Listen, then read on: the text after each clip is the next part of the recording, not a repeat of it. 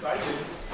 Um, I just, I want you to realize this is a work in progress, uh, but I'm going to let you write on, on all the things that are going on about this discovery and about what we know about it right now. I think you'll find it kind of interesting, but I'm kind of wondering why we're having a brown bag lunch while I'm talking about this. it must be cultural. So, Civil War period, ossuary pit. Who can say ossuary? Ossuary. Good. now I feel much better. Maybe I'll be able to talk through this. Uh, okay. An ossuary pit is a pit filled with bones. Okay? When the medical examiner looked at these things, he called it a carnal pit. And I looked that up on Google, on the great interweb. And don't use that word.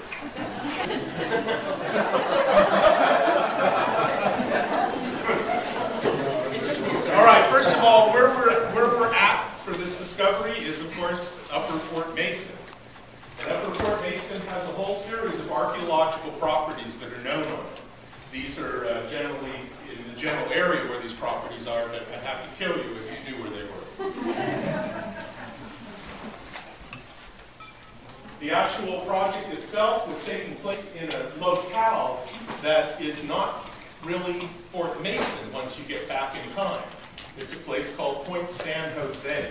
And that's the military reservation that was established here during the Civil War. And, uh, and basically, it's uh, about 1863 or 62 to about 1882 when it becomes formally Fort Mason. The project itself was uh, actually the rehabilitation of a series of some of the oldest houses on, or buildings on Mason. Little did people realize back in the 70s when the community garden was being constructed that they were building a community garden right in the middle of a giant historic archaeological site. Right? It's still there. The uh, excavations big excavations that have taken place here, most people have some sense about, include the Black Point Battery, a giant Civil War battery that was completely buried probably around 1898 when, when a uh, Spanish-American War battery, Battery Burnham, was built, and was uncovered, at least half of it was uncovered about 1979 to about 1982. This was part of Point San Jose. It's a quiet little place, and we all understand the world from these kinds of images. When you drive by there, it's a quiet little place. Doesn't seem like much took place there till you poke. But When you poke at things, sometimes stuff comes out. this is a schematic, Joe. It's not real. It's a schematic I had to cobble together of the three buildings that were involved in the project to actually try and rehabilitate these structures and put new foundations on them. And uh, the one on the top is actually the, uh, the, basically the hospital itself. The original hospital building roughly being this L-shaped structure with all these things being additions that occurred later. And this originally being a uh, steward's quarter for the hospital, although I understand that it may have been a band barracks before that. And it actually was separated and joined together in about 1884. This is a steward's quarters that was built when the hospital was expanded to include the whole building. And that's in about 1891. And then this structure down here was a big warehouse that eventually became the headquarters for uh, Point San Jose or I'm sorry, the headquarters for uh, Fort Mason uh, between about 1890 and 1907. So again, uh, the park is in the process of trying to bring these structures up to current codes, make them safer, and get them back out on the open market again. And in the process of doing that, there's a whole bunch of the usual environmental review that takes place. And as part of that environmental review, two things came up that are kind of related to this. The first one being that there was a planned, uh, all those dark lines that you see running around the building, those were, are where trenches are going to be excavated for full perimeter foundations for all the buildings. The original foundations are really, at least the really early ones, are all brick piers. And then the second thing is, is when you start poking into the soil in an army base that, that hasn't, and it goes back to the 1860s, uh, the buildings have been painted many, many times with lead-based paint. And so a lot of that is in the soil, and what we needed to do was to clean up the soil. And so there was a, uh, an arm wrestling match between the lead-based paint people and the archaeologists to try and figure out what do we do next. And the first thing we tried to do is, is uh, we tried to reduce the scope of what the archaeological testing would be in this area. And um, we reduced it down literally to hand coring augers into the ground around where any kind of ground disturbance would occur. And then the samples for the lead were pulled based on that to, in order to gauge how much soil needed to actually be removed. And then we started calculating, we decided to wait for the archaeology to figure out how much we would have to do and how, what further we have to do when the lead soil got pulled. So um, that's how the project is sort of got underway. Mean, there's a lot of other aspects to it. Uh, Joe Costa here and uh, Catherine Robles, who are both uh, directly involved as sort of the project managers on this thing. Um, there's a whole other set of stories about the buildings themselves. But today we're going to go under them and around them. So, uh, Point San Jose and Fort Mason uh, not always the way that it seems. It wasn't this simple, quiet little place. Um, it actually had a lot of different activities going on, and as you go farther back in time, the place is changing. It's a very different world. This is a picture of uh, one of the, uh, the earlier buildings in 1905. In 1906, there's a lot of uh, basically evacuees who come to uh, the, the Point, uh, Fort Mason area and uh, there are a whole bunch of evacuation camps that are set up. None out in the main post area that I was describing, the Point San Jose area. They're much more on the exterior and down into the what became the Marina District. This is more about a time like this earlier picture, perhaps from the 1850s, or, I'm sorry, from the 1860s, uh, when it was a simple little post with its main uh, parade ground almost like on Franklin Street, if anybody knows where that is. Um, it's kind of like the divide between the main set of buildings in this direction and the, the house, the four or five houses, including the officers uh, club, that is on the, the hillside overlooking uh, Fisherman's Wharf. The hospital, this is what it looked like in 1961. And uh, I'm just going to jump right into it. Here's the archaeology as it started. It began with training. Archaeologists need to be trained in order to work in the lead-based soils to start with. Because if we were working around, or they, it was a contract, so if they were working around the structures, they had to be in Tyvek. The soils had to be treated as hazardous materials. And as a result of that, there was a lot of fretting on my part about whether or not we would actually learn what was in the area. The reason why we were doing the archaeology was twofold. The first is, is that there are prehistoric sites at Fort Mason. There's as many as five of them, and two of them are on either side of this project area. So we had the assumption that no one had ever really looked under these houses and that they, that might actually be one large prehistoric site. That turned out not to be true. There's no prehistoric site where these buildings are. In fact, what there is, is a lot of dune sand. And so on the topographic maps where you see a mounding in this area where the buildings were constructed, it's a dune that's sitting there. And, there, and at least in terms of the depth that we went, like eight feet or so, that there is no prehistoric site unless it's deeper and a dune built up over quite a lot of time over it. So they got their training, they went to work, sometimes in Tyvek, sometimes not when they're far enough away from the buildings. Uh, it's too bad it's a little, it's uh, too bright in here, but this is the area um, where the discovery was made. This is the morning of October 25th, the day that the discovery was made. Literally, uh, this was a Monday, and on the Friday before that, Joe the archaeological monitor who was following this project and myself sat in this cove and talked about the fact that the monitoring was suggesting a lot of isolated artifacts were coming out of this area where they were digging, and, you can see now a little better the uh, area that had been excavated already for to remove the lead soils. So the archaeological testing didn't show any archaeological features. And that means that there's, a feature is largely not just one artifact, but it's actually a whole mess of them together. Sometimes in a visible and understandable pit feature or something like that, or in a layer where materials have been thrown out of a building or something like that, uh, kind of what, what's called a scree sometimes. Um, though, yeah? Maybe a little too dark for the interpreter at this time. Does he need to move his position? What do you want to do? I think I don't need a little bit of that. Could you Just a- on a the little bit of light. door? But I think I'll go. It's harder to see if the, the, the interpreter is away. We can, once we get, um, you can turn the lights back up because once you get the general idea, we can- you can just kind of fake it and uh, you'll understand what's going on We there. have our head. I think we're good. All right? Thank you. So basically on that Friday, we were talking about the need to actually start to look.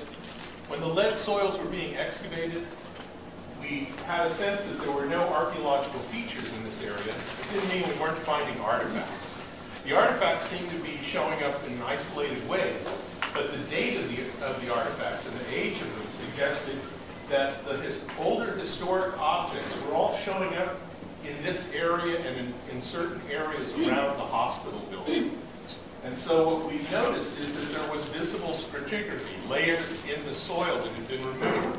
And we decided the next step would be that we would take a look at a controlled sample of each of those layers to determine whether or not it's really just one or more of those layers that were producing these isolated pieces.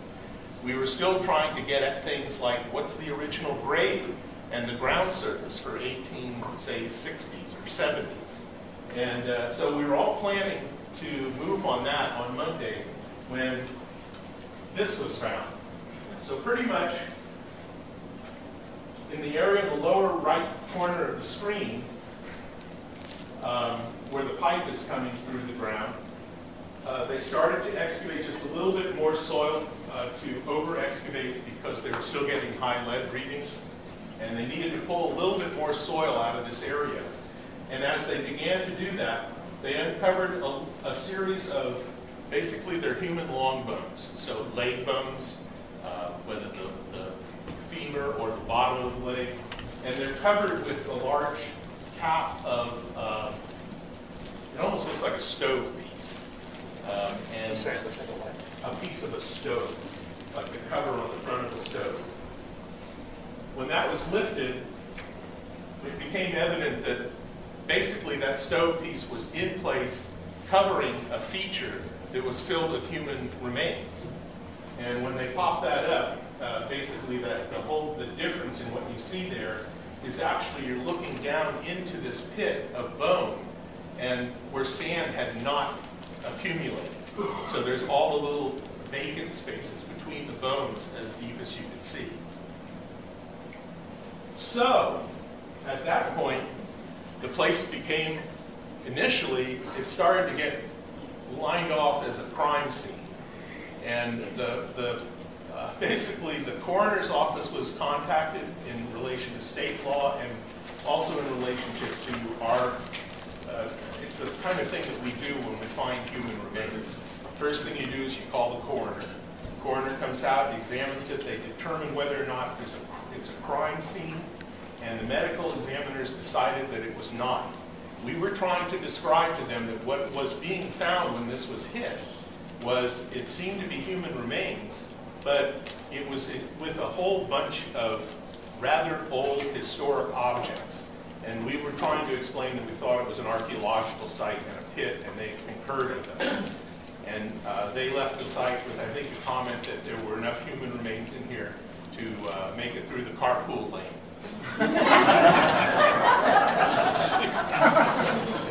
Now, make a note on, make a note on that. The note is they're looking at the surface of a pit. No idea of how deep it goes. And so we have gone all the way down to the bottom of that pit and recovered this material. And we're going to be going back to the medical examiner from the coroner's office to have another discussion. You'll see why in a minute. By the way, at the time, they also made the determination that um, some skull fragments that were found were not Native American, and it was determined that this, this was not a prehistoric feature as well. So it was released back to the park, and we came in with the issues with the lead removal. We decided to recover this feature to understand it better, and rather than just cap it and forget about it. So the next thing that happened is, of course, media arrived before we really had a sense of what, what we were going to be doing next. And, uh, and the media was, was uh, handled aptly by the, uh, the public affairs. And so Howard explained the situation to them after I explained the situation to Howard. And, and they just kept coming. And so Public Affairs put out a notice that was kind of a summation, literally on the first day when you're just trying to get your bearing and you've got like vertigo about what you're going to do about this feature. Um, but they went ahead and put together a little briefing that went out, and it's like the thing that AP used, and it went out everywhere, and it's really short, and uh, it would be really nice someday if there was a way to put the actual findings out rather than that first blurb that goes out. Because sometimes that first blurb is the only thing that people ever find out about the thing. So as we started to uh, basically uh, set up a grid and determine our location and get a map started on this feature, that's what it looked like. I hope everybody can see it, but if not, I've got plenty more of that. This is the surface of the feature. So the top of the ground level is a little bit above the large pipe in the top, the cast iron pipe heading to the, uh, what literally is the sewer trap. And that's the original ground surface, so it's that far down, and there's all this additional material that's been placed on it over time. Not well explained at the site. It's not like we had the opportunity to do test excavation pits. Remember, we did auger holes. And it's also not like we were able to do a strat trench so that you could understand where original grades were. So we're trying to still get our sense of where everything is at. We're keeping everything as intact as possible. And even if the pit is showing down here, this is the last piece of evidence of the original ground surfaces over time above the pit. So this part had to be excavated along with the bottom part. Well, not along with it, but data had to be collected in order to understand, for example, if the pit grows farther into it, the portions that actually belong. So slowly but surely, we began to, to take each of the layers off of that large bulk of soil in the middle of the yard. And um, I, it became kind of like a, a Mark Twain novel. It's like people started showing up left and right, wanting to hail. And, and, and so we let them help. We defined things that were manageable for them to do, and depending on what they already knew, and it was like painting a white fence and getting out the paintbrush and telling everybody how cool it was. And rain was good. And yeah, of course, there's rain coming. That and earthquakes. So the process was slow, laborious, but, but very, at the simplest level, what it was, was recording the feature in plan, and then very carefully brushing down the bone, exposing a layer of the bone, kind of like a game of pickup sticks. But what we were looking for to start with was whether or not there were articulations. Is this a burial or is this a waste pit from the hospital? Is it composed of amputation parts or is it something else? Is it part of a cemetery that was associated with the hospital? I'm not really sure which, what all the answers are for that yet, but there were no articulations. And as we went down through this pit, the upper layer was almost like um, a, a disposal, like at the end of cleaning up a hospital, you might sweep it all up, all the broken everything, and you might throw it on top. So it was a mixture of bones and broken glass and all sorts of artifacts. Below that, someone was taking the trouble to throw in a waste pit human remains and organize them first.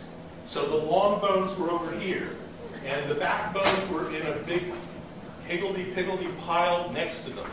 And next to that were skulls, and next to that were hand and feet bones. I don't really have an explanation for it other than it sure looked scientific. And below that, we began to actually find at the very bottom of the pit articulated parts, but no complete skeleton. And at the very bottom, there was a child, but without a head. Okay. So the process is, was a long one that we thought would be over each day. And each day, at the end of the day, we were kind of amazed that each layer that we cleaned, recorded, and then went down the next layer of what was removable, just kept going. Eventually, we found ourselves uh, coming up against the rain, and uh, Scott Jo- Jones was, was uh, able to get us actually a cover, which was perfect for that one day where it was raining. Lots of people assisted. That's my son. And that's Scott Jones. That's Catherine Robles. That's some other people. That's Abby Sue and Tim Spillane, who was the archaeologist monitoring project. This was some, some guy that wandered off the street and a bunch of, this is what it was like when we looked up in that alcove. Art's, Art's maintenance crew was working hard on getting the building set up, but every time we turned around, every window in that alcove had like a, a peanut gallery watching us. And, uh, and strangely enough, Jesse on the left here uh, got nicknamed Madam Cleo during this as a psychic. And he actually made a comment about what he expected to, us to find at the bottom of the pit, and he was dead on. It was where we got through all these remains and came down on articulated remains. So you just put that one in the book anywhere you want. Again, an example of another layer as we got it cleaned off, and it's one that, that shows the profusion of waste material from the hospital that's actually directly associated with all these materials. This isn't a purposeful interment like a cemetery. This is much closer to disposal associated with waste from a hospital. So each layer was carefully bagged, removed, and then more was excavated. The plans continued, and the pit itself stayed pretty much in place. In other words, it didn't get bigger, it didn't, and then Scott started fooling around. And the next thing that happened is he started to find another pit or another feature. It turned out to be a small addendum to this that was over to the side at one level. And so at, at some time, a pit had been dug into the ground that was, say, yay big, and there was also some parts that were thrown over to the side. And what slowly emerged was a momentary sort of, as the pit was filled, there's a point where it got a little bigger and then it got smaller again. The human remains that were found in it included skulls, and that's what was really starting to bother us. Because usually you don't amputate a skull because the patient dies.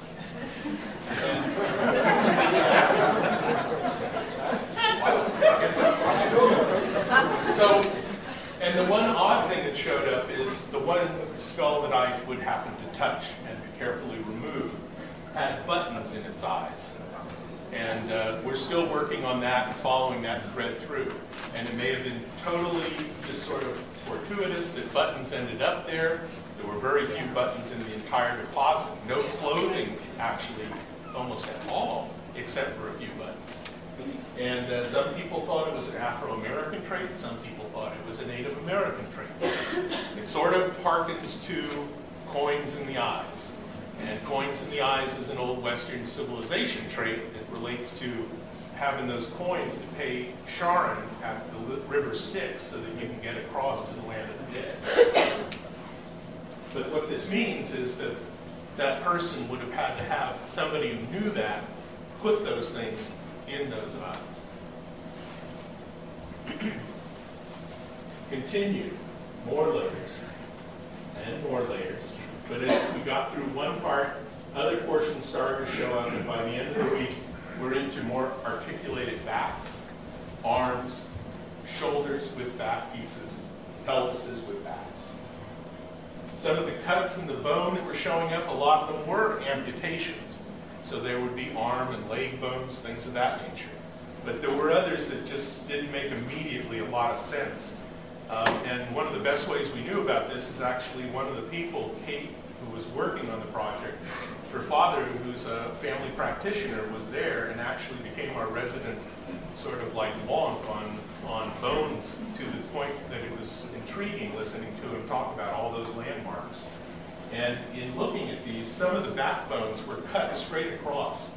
There's no particular reason that you would do something like that unless you were breaking the body down in order to put it in the ground. Then the way that the bodies were laying in this mass of bones, they weren't placed in the ground. At first we thought that maybe there was still tissue on them when there was placed in, when they were placed in the ground. But more and more it became evident that these were bones that were being buried, not body parts in whole. So they went through a process someplace that resulted in them being bones, and then they went into the ground later How did you determine that? by the way that they were sitting. Um, when you look at a, a pile of backbones, first of all, if they're individual vertebrae in a pile that has not been moved, and they're all disarticulated, they're not joined together. There were some that are like those. But above, the pile was the majority of them were individual pieces. There's enough uh, muscle and different parts of the body, the way they're hooked together, is that you'd be spending a lot of time trying to get it down to that level and to put it in the ground with all the flesh and everything still on it. Enjoying your lunch?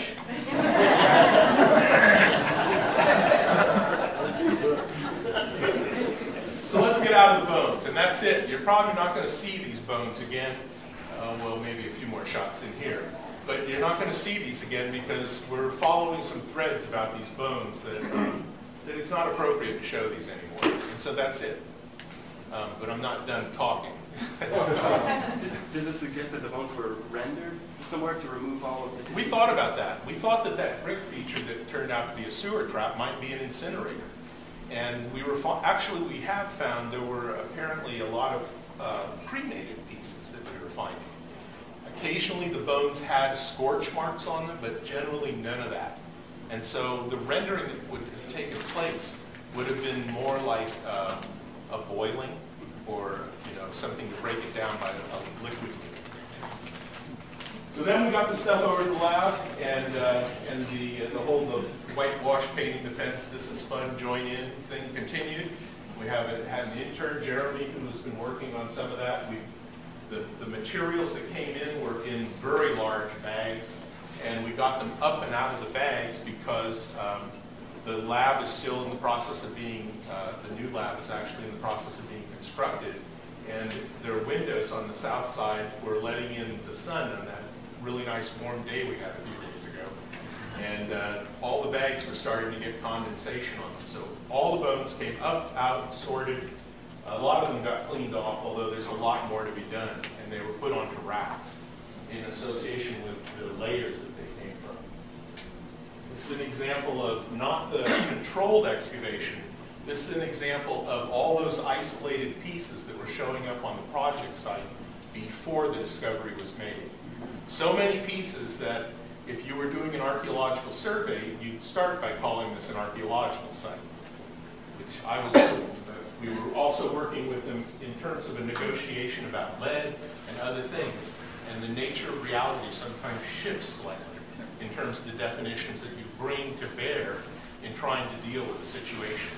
So these things were not features like I described, but these individual artifacts were in profusion. It's an example of some of the materials. Uh, somebody mentioned the name of this one. It was a ceramic that I was unfamiliar with. Anybody know what it is?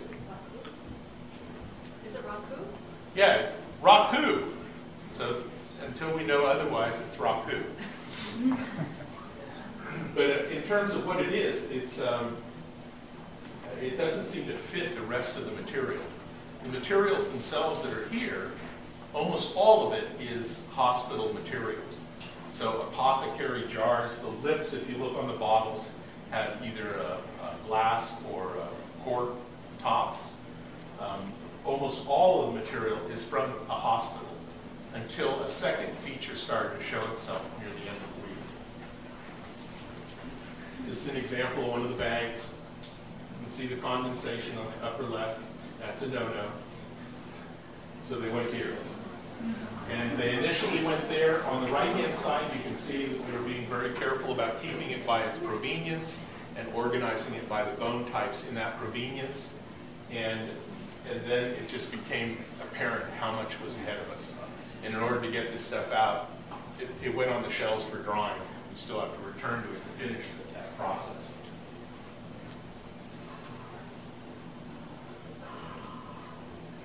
Now, one of the questions that was asked, I think when we'd gone this far into the feature was, how many people are here? And uh, so we continued to make estimates of how many people there were as new and more information came in. As it stands right now, it's somewhere between 8 and 20 people. And we'll know more when we get all those bones organized and we can actually look at several different aspects of minimum number of individuals to understand how many are there. And the other thing that we're going to try and do is, is to try and determine how many full individuals there are, which will be a much harder task that's going to require an osteologist and not us. By the way, an osteologist is a person who studies bones, and you'll hear more about them in just a moment. That's an example of the materials as it came in, a lot of sand on it. Um, we got the stuff up and out as quickly as we could, but this all needs to be cleaned up. Uh, we're finding uh, what's called cross mending, and that is that between these, uh, eventually what we found were two features. One is the bone pit, which has a lot of trash in it, in with the bone. And the other one seems to be a straight hospital waste pit that has more domestic trash. So the bones that were in that part, there's lots of cut bone there too, but it's cow and pig and things like that. It's food. And uh, what we're finding is actually cross-mending between those pieces. Parts of bottles that fit together that are in both, both of the features. And that's an important clue in terms of helping to gauge were both these features the same period of time and to tie the elements together.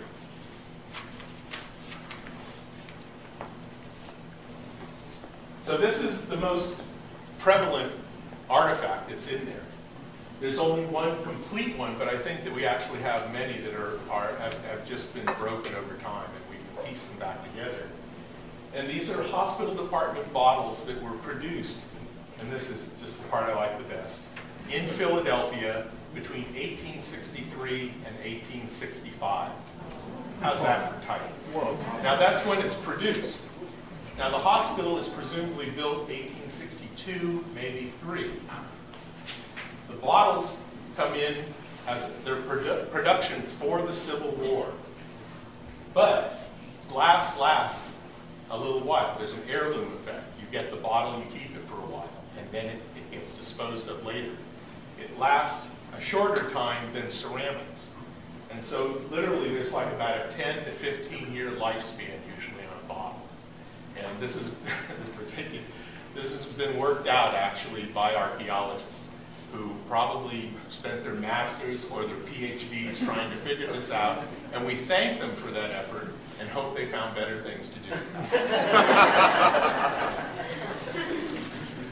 These little fragmented bottles, one of them, they have maker's marks on them, a very important tool in trying to gauge what's the age of these pits, where are they from, and what period of time. We know they're, we're assuming they're hospital waste since they got hospital waste in them, so it's from the building. And this one is Squibb, and these are from about 1867 to 1869.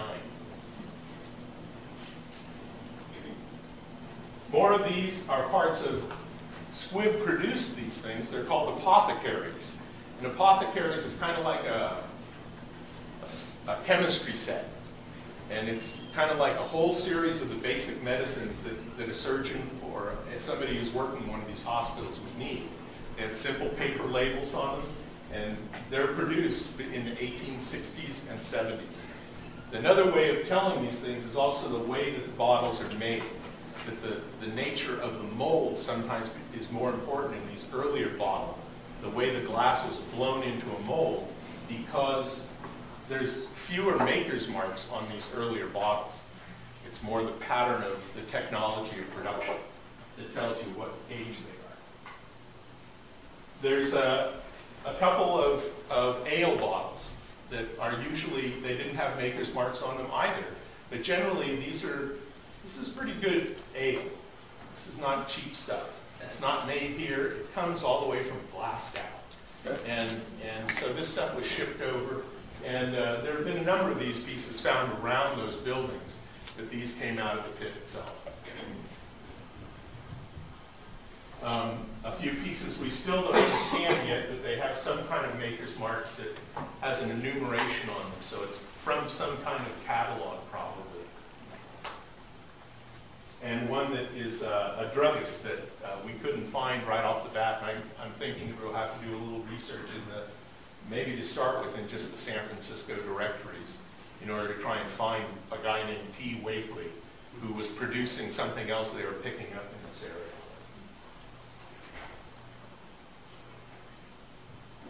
So there's more of it to go through. There's the example of the, the hospital bottle that's intact and uh, Civil War period. So that's the archaeology. That's the material remains. That's the way that we tried to bring them up out of the ground in a controlled fashion so we could reconstruct what the pit was, what was in the pit, and start to analyze what, what is the age of the pit, what kinds of pieces are in the pit, and then after all that, figure out what the meaning of this is. How did it end up? Is it just garbage? And what the meaning of this information is in relation to the hospital, maybe in relation to Point San Jose, maybe in relationship to the way that Western culture was operating at a certain point in time. So, the first thing I did is I started the, the second part of this effort. And the second part of historical archaeology is the first part, historical. And so when you dug up all these material remains, the idea of historical archaeology is you're supposed to be digging up the primary documents that reflect something about those material remains. So the first thing I did is I started doing some research on Point San Jose, not on Fort Mason. Fort Mason's a, a name that got created in 1882. This is in 1882. This is a little older than that. So I looked up Point San Jose Hospital and started finding a number of general surgeon reports that came out through the, the government printing office in the 1860s and 70s. Took a look at the reflections from the surgeons, one page usually on each one of the forts and across the whole country, and started to come up with a number of names of the surgeons that actually worked at the hospital. This stuff I didn't make up, okay? Where, I, where we go from here is just what fell in my lap. And it's not, uh, it, it sounds like a Leo story, but it isn't. It's just what I found. The first one I searched on, Edwin Bentley. He's an assistant surgeon, so he must not have been really a full surgeon yet. And uh, he's there from in charge of the hospital from 1869 to 1874. Well, that's pretty good. It's like it's right in that area that the artifacts seem to be suggesting, that decade or so. And so I started looking into Edwin's past. In the Civil War, that's Edwin, the surgeon. He's uh, born in about 1822. He uh, is from Connecticut. He ends up in the Army as a U.S. volunteer in the Civil War. He's in charge of the Alexandria Hospital during the Civil War and actually changes that place drastically from a hospital of 200 people to a hospital of 5,000. He, he almost does this stuff single-handedly, although he's still an assistant surgeon, so there's some story involved in that. And uh, after that, he's in several places, including Russell Barracks and a number of appointments that are actually in Washington, D.C. And then he's assigned to Point San Jose for this five-year stint or so. This is Edwin when he's a little older. And, uh, and basically Edwin's career continues uh, well past the Point San Jose uh, episode. In fact, he lives into his 90s. And, uh, and this is what I think we're, where we're starting to find a little bit about what the pit might be. Edwin, it seems, was part of a large group of surgeons who were living up to the responsibilities set to them by the Surgeon General, who specifically asked for the U.S. Army surgeons to collect pathological and other intriguing anomalies in the process of working with soldiers and people that had been affected by the Civil War. So people coming into the hospitals, um, elements of their bodies that were, that were lost, where they died, or that would be, uh, uh, say, amputated or something. If there was something intriguing about it, and I'm not, I don't want to show you the pictures because although they're profuse, um, they, the uh, Army Medical Museum in Washington, D.C. on the National Mall was collecting these pieces, and Edwin seems to have been really prolific at it. And in fact, began to send large amounts of material to the Army Medical Museum. I was able to download at least one of the catalogs, of which there are six huge volumes that are produced from this Civil War effort by 1883. And in just one of the volumes, Edwin has produced almost more than anyone else. About 105 or so items are being sent from, usually a, a lot of these are from when he was at Alexandria. But it's an example of the things that he was doing in relationship to some, to that relationship he had as a researcher in the Western frontier to the Army Medical Museum and their efforts to understand how to deal with wounds of all sorts of types. The things that he sent forward were not all just bones. So they're anything that came under his knife. And so, for example, the very first thing he sends in is something called a hypertrophied heart. And the Army Medical Museum um, has many of these things. And, uh, and that's where the story starts to get a little more intriguing. Uh, that's an example of preparation with uh, anesthesia. Lister had started to develop the, the use of anesthesia, so they actually were able to get these guys somewhat quieted. Amputations and other things occurred. And this is, an, this is the title page of, of like six huge volumes that were amassed of all the descriptions, artist renderings, photographs, and otherwise of uh, all the different people that had, uh, where information was being contributed by these surgeons from the Civil War and then beyond the Civil War. the curiosities that show up in the catalog are, uh, they get worse than this, but this is an example of them. And this is an example of the museum. So on the National Mall was this giant, uh, yeah, what would uh, Ace Ventura say? It's like this giant place of death. And that takes us up to after the Civil War. In California, what continues during the Civil War and after is we don't have uh, any battles really here that relate to the Civil War, but we do have Indian wars. And those things continue on up into the 1870s and 80s.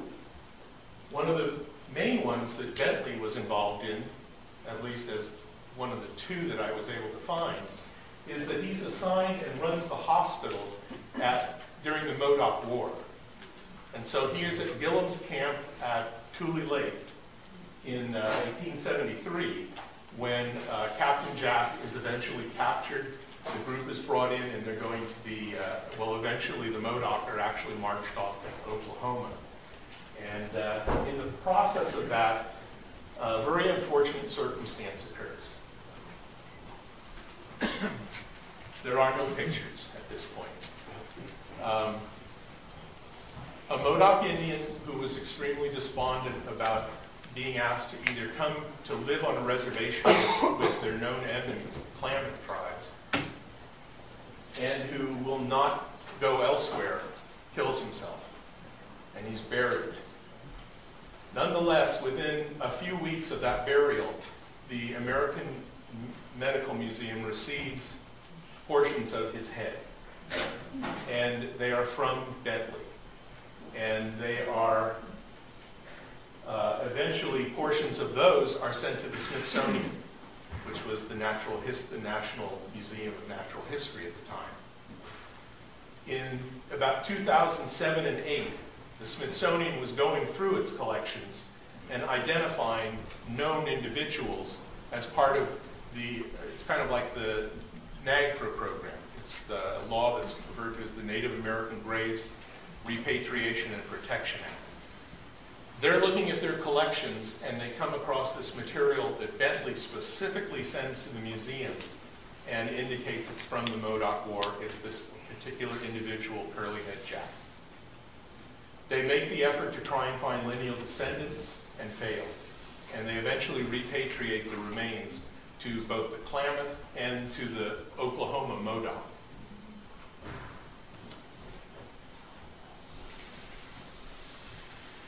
So, at that point, I didn't make this up. No. It was a dark, stormy night. And it was Halloween. I was sitting on my computer watching Dawn of the Dead. Edwin Bentley. And I, it, I find that he's released for a certain amount of time from the Army to study uh, the morbid anatomy of mental illness. And it also turns out that October 31st, he shows up as being appointed the superintendent of the Napa Insane Asylum. Wow. Um, and uh, so the, the things that are revolving in my head at this point are right. Um, there's many things going on, but one of them is um, is the need to think very differently about this pit and whether right or wrong and why it was done or anything else to be very cautious about the way these remains are being treated. And uh, because there's a thread that emerges in the work that Bentley was doing that suggests that we may actually have um, Native American people, and we definitely have odd circumstances when skulls and things are showing up in these burial pits. So there may be a NAGPRA issue that is sitting in this collection that's been recovered. And there also may be an issue about the inappropriate internment of human beings, period. So this is one of the reasons why at this point, um, on November 18th, when we have the opening for the lab over at Fort Cronkhite, we're not going to have this stuff out for you people to look at because it's not right anymore. This is it. It's one time, the information is out, and and maybe this was not correct either, but I had to do something, and I spent a lot of time thinking about this, and I thought the truth was kind of the best approach.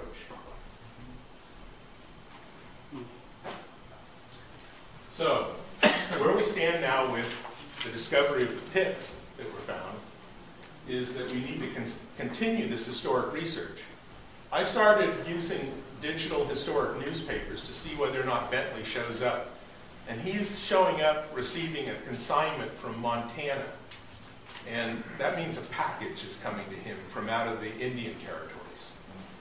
And there's also a, a uh, he's also reassigned at a certain point, right around the same time that um, he's working at Napa. He also ends up being running part of the hospital at Surprise Valley up in the Warner Mountains, in, again in northeastern California. So there's enough indication from these few points that, that we've come across so far to, to have a concern about the actual clear identification, even if it's only in a statistical sense, of who these individuals might be. There's a, a need to continue the, the cleaning up of the feature itself to, to clarify exactly the age of it, because the story sounds very intriguing, but they're running parallel with each other right now. There's nothing in that pit that says, hi, I'm Edwin Bentley. There's just information that is just so damn close to, to the point of this pit. And the person is so prolific in the things that he's doing.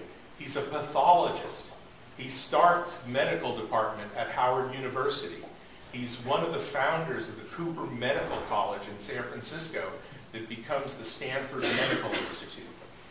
He's a pathologist, and yet there's elements here that seem pathological. That's. We need to go to the National Museum of Health and Medi- Medical Medicine Archives. I think that's right. And uh, we actually need to make a, a thorough review of the materials that, that Bentley actually sent them.